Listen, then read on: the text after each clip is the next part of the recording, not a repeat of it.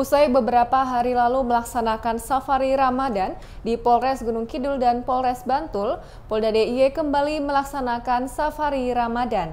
Kali ini di Polres Kulon Progo pada Senin sore 25 Maret 2024. Dipimpin Wakapolda DIY Brigjen Pol Adi Vivit, didampingi para pejabat utama. Kedatangan tim safari Ramadan Polda DIY di Polres Kulon Progo disambut hangat oleh Kapolres Kulon Progo, AKBP Nunuk Setiawati, para pejabat Frokopinda Kulon Progo, dan pejabat utama Polres Kulon Progo.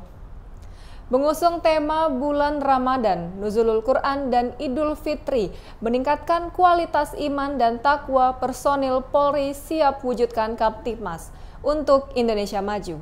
Kegiatan dihadiri oleh personil Polres Kulon Progo dan jajaran Polsek perwakilan tokoh masyarakat, tokoh agama, dan tamu undangan lainnya.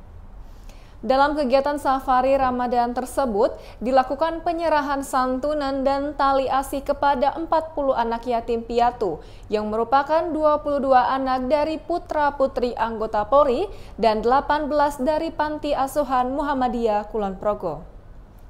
Berikutnya kami sampaikan data gangguan Kamtipmas dan kriminalitas yang terjadi di wilayah Yogyakarta pada hari Selasa 26 Maret 2024.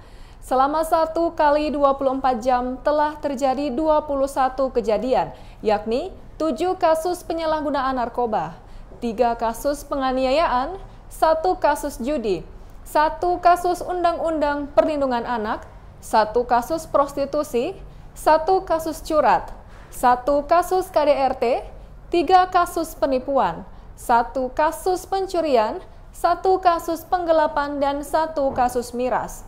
Demikian Polda Jogja News edisi hari ini. Saya Bribda Harlisa Dinda Lestari, terima kasih dan salam Tribrata.